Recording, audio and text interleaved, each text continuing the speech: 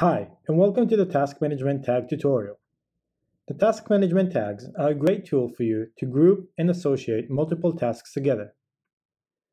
To view and manage all your tags, navigate to the Task Management feature and click on the Tags icon in the top right corner.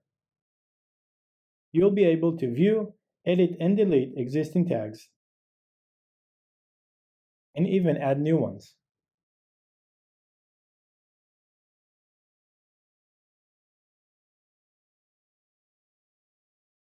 When creating a new task, you'll be able to tag it with one or multiple tags from your list. Or even create a new one from here.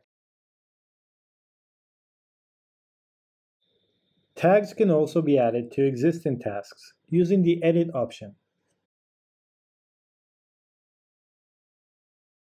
All this can be done from the mobile app and on the go. Simply click on Create Task.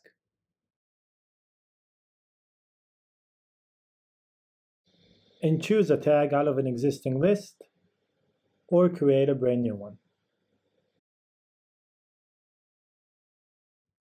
Thank you very much for joining me. If you have any comments or questions, don't hesitate to reach out at any time.